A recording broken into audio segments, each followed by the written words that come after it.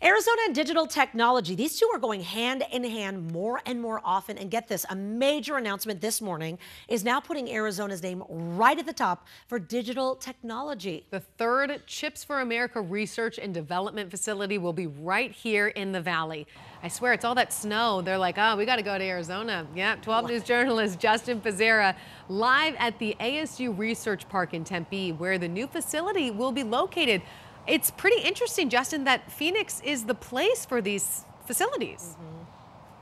Yeah, it really is the place. You're talking about snow. There is actually one of these facilities in upstate New York. So, you know, they probably did want some Arizona sun here.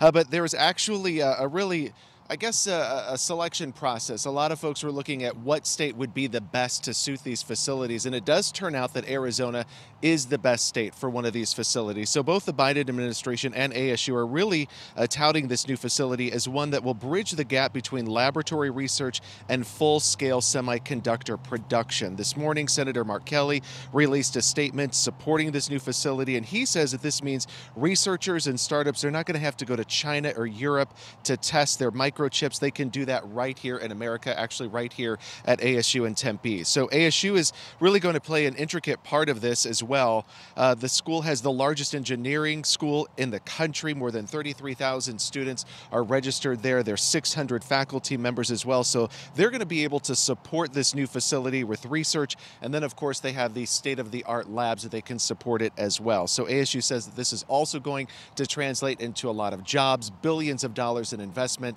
It's just going to take some time to get this up and running. It is expected to be fully functioning the fourth quarter of 2028. We're live in Tempe this morning. Justin Pazera, 12 News, Today in AZ. All right, so we got some time before things really get going out there, but really cool to see it's going to happen here. Justin, thank you.